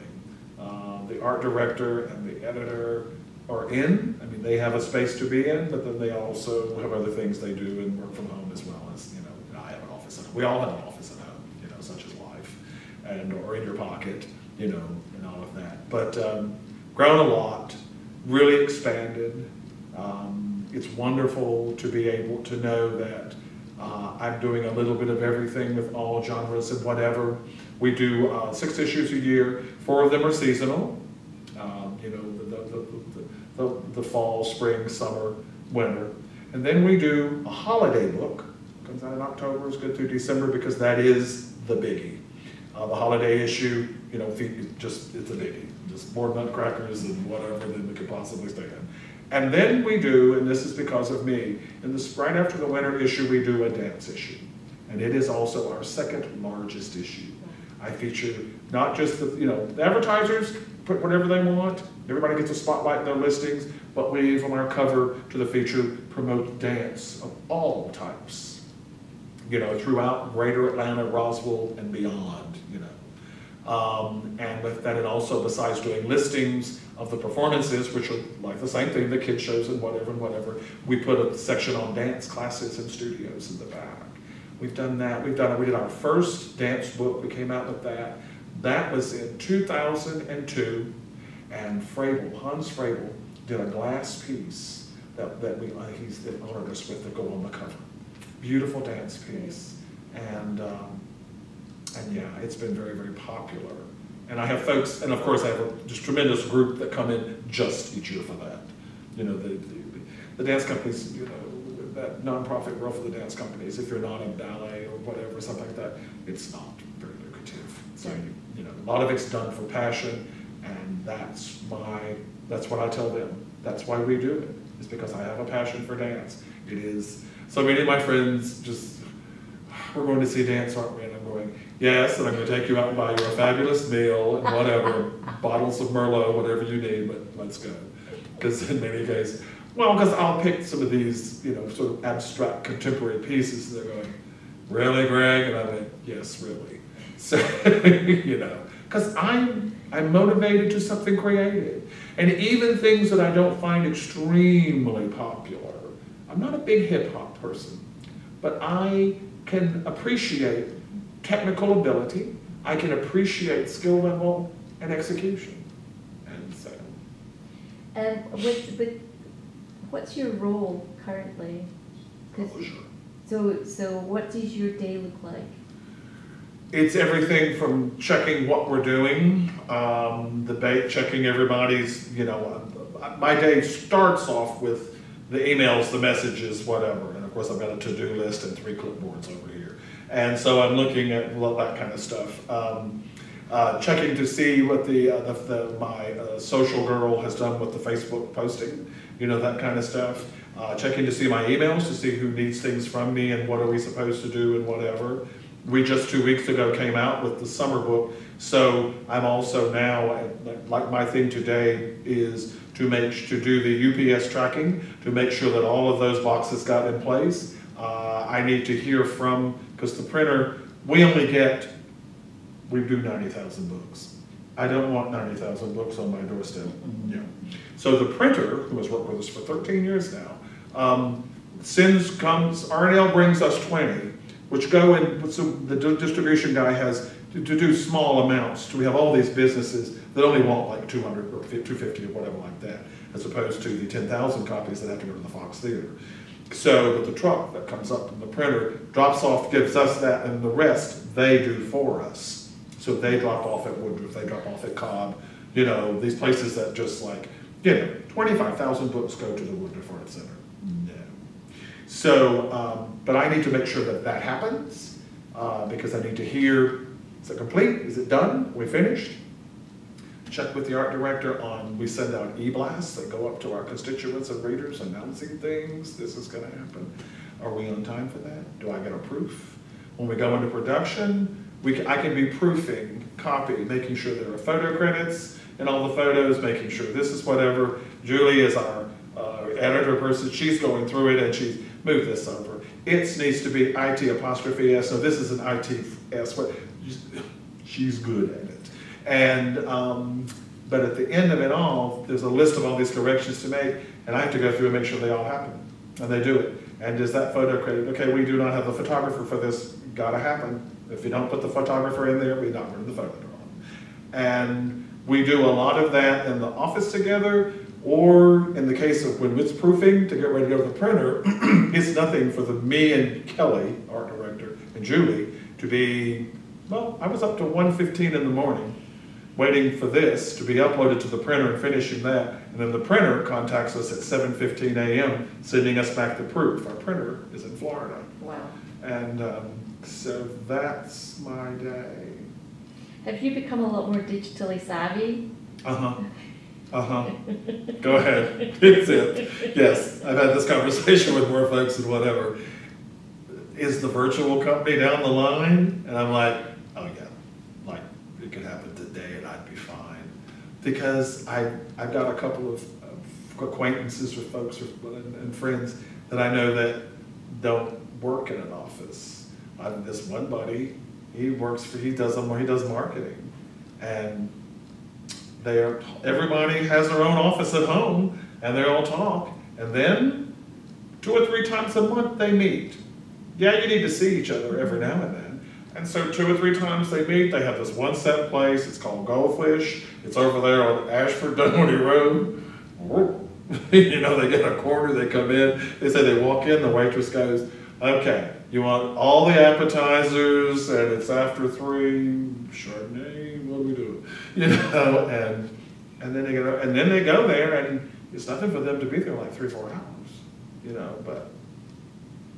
And so, yeah, I think that'll be my retirement, because I can't stop working. This is not gonna happen. That You're not, you don't seem the person that, that, that will do No. that. It's in the vein. So do you have an ad person? You don't have to do the ads now, you have No, somebody. I do. I, you- there's, yeah, there's three of us. I'm sorry, I didn't even mention. Uh, Joy Barnes, who worked with me when I was in the very first office, that little hoo-ha down there. Then she got a job at the city of Atlanta. Uh, she does a lot with the Bureau of Cultural Affairs, Jazz Festival and so on. She then went on to have JCB Marketing and Consulting, her own marketing firm. Uh, as a matter of fact, when we moved out of the little office into the big was when she decided to go and do her own thing. Um, and she uh, was real big with working, and, and, and she even kind of did a lot when I was working with the Guide magazine. That's when I kind of met her uh, because her partner at the time was manager of Crazy Rays uh, down at Ansley. And so we would go and, and hang out and do all of that. But Joy still works with the city, you know, like that. She's connected with all the marketing and stuff like that. Hartsfield stuff like that's her big clients. Matter of fact, Hartsfield's come into our world.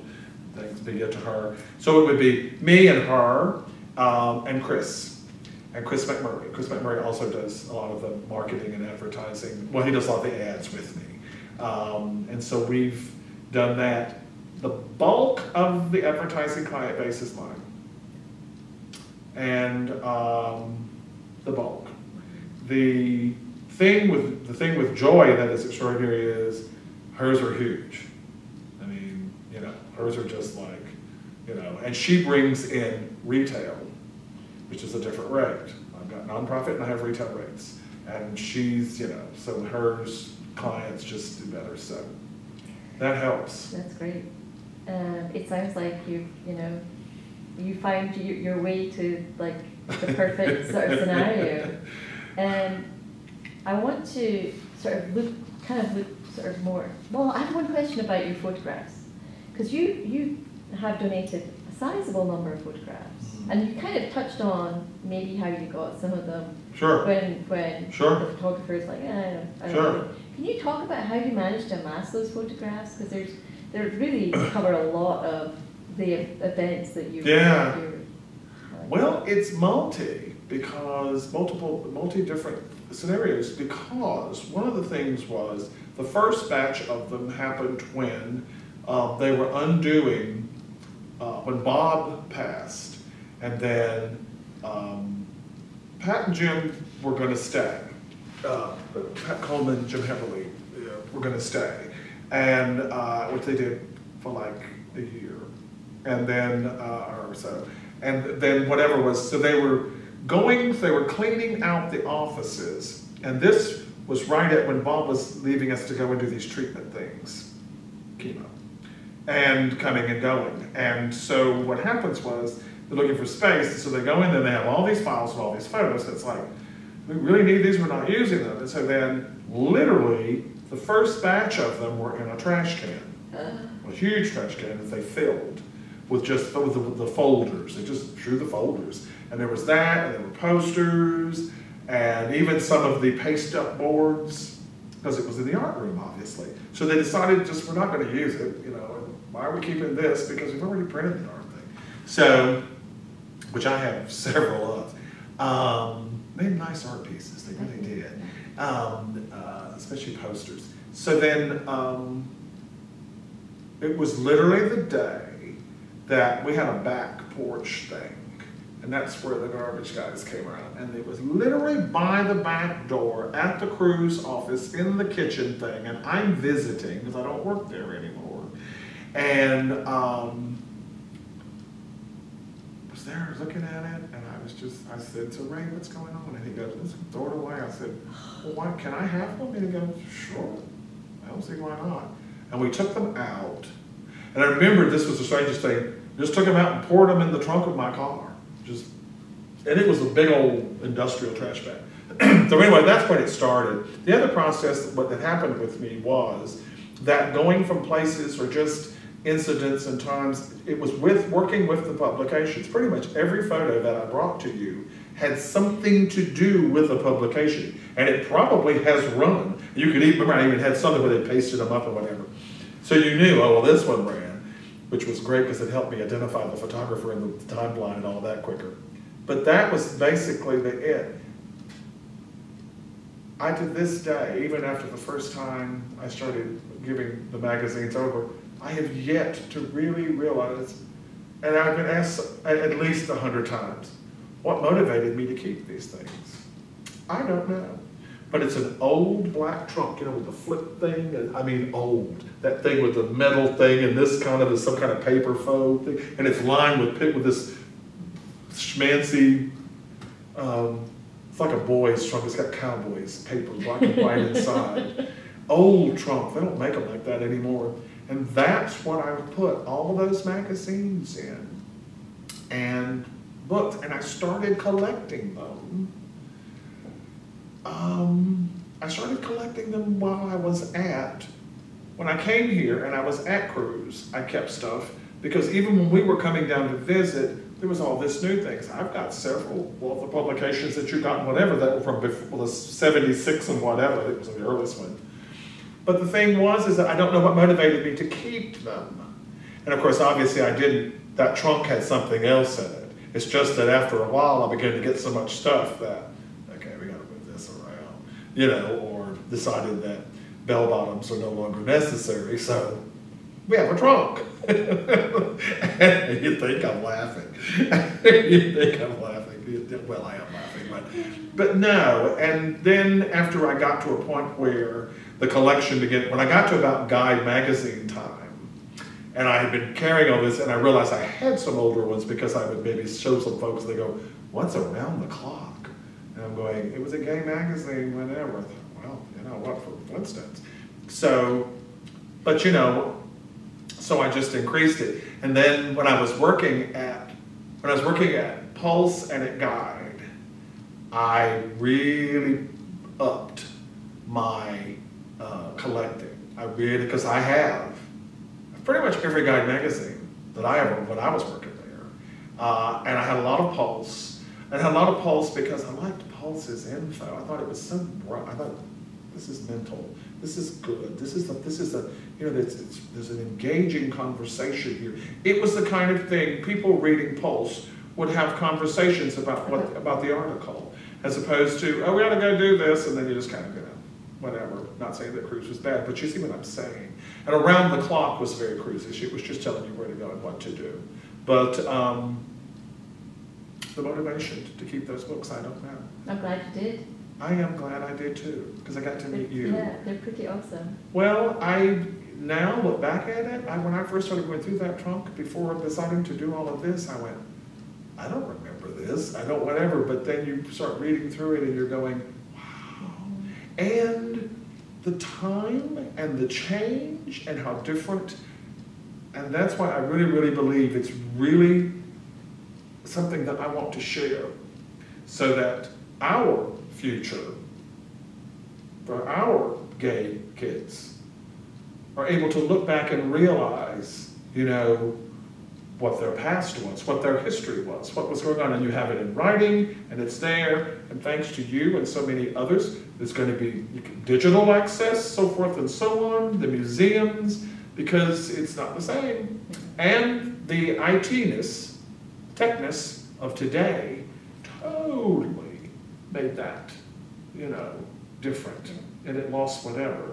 But there's something about being able to read something and touch something and see something.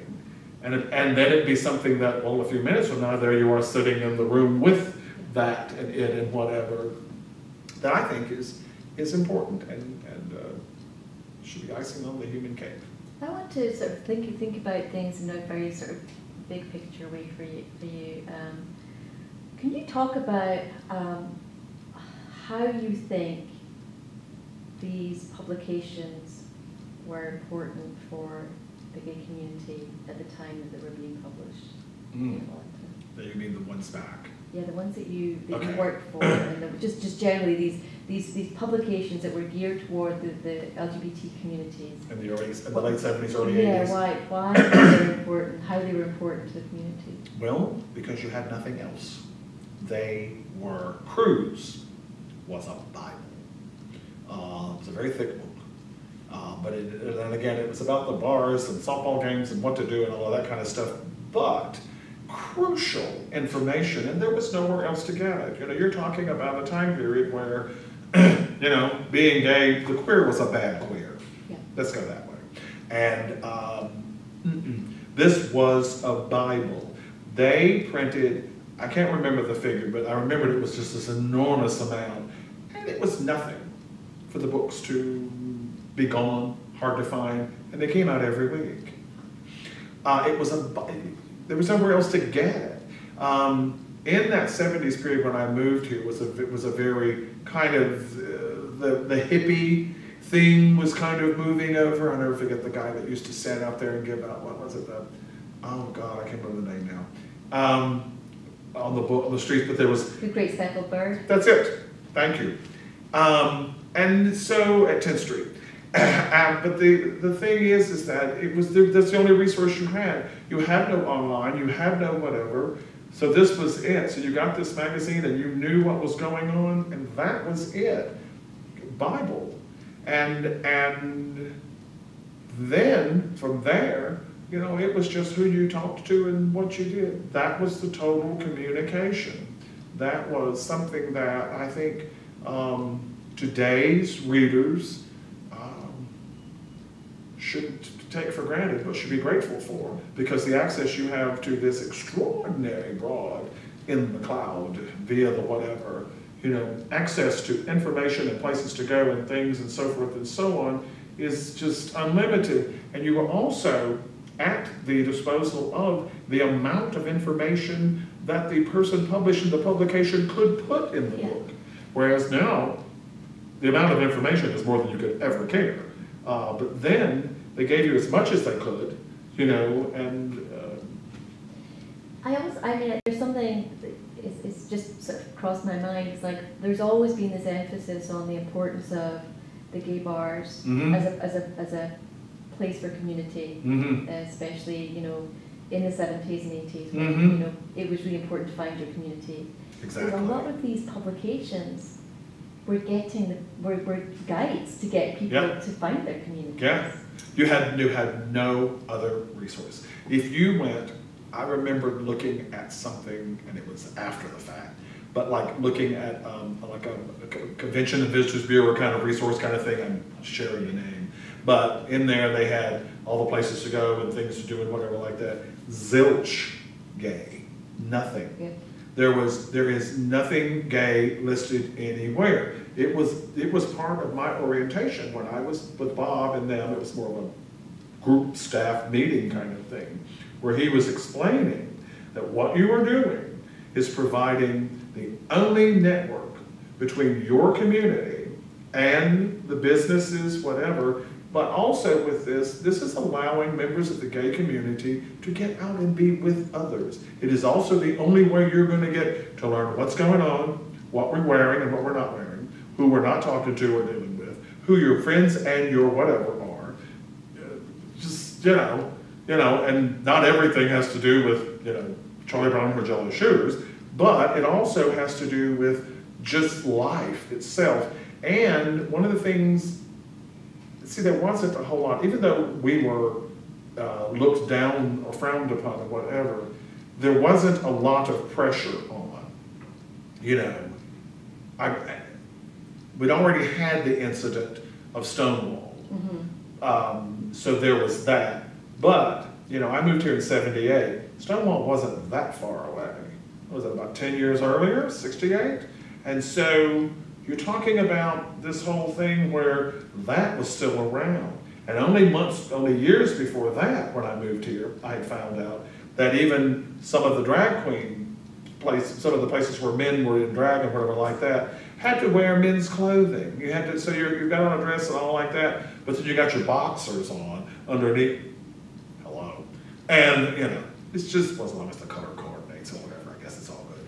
But the, the thing was is that that mentality from the government or the social whatever is still there towards you. Yeah.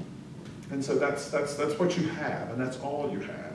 And one of the things with Cruise that was kind of unique was, is that, that I thought was kind of unique, was uh, that, it, that there weren't more publications. There weren't a lot more. You had them kind of come and go, but there weren't a lot more. And I was, I don't know if the AIDS thing had much to do with it. But as we got into the 80s, because when we got to about 84, 85, right about the time that, you know, Cruise was going away, there was, you know, because there was David, there was the Midtown Magazine, which only lasted a year, there was the Midtown Times, they were late 80s, they only lasted two years. I knew the publisher, Sonny, Earl Sunny Moon, very, very well. He also opened the Metropolis, which was that bar that took over the Answer Lounge. But one of the. Etc. was there too.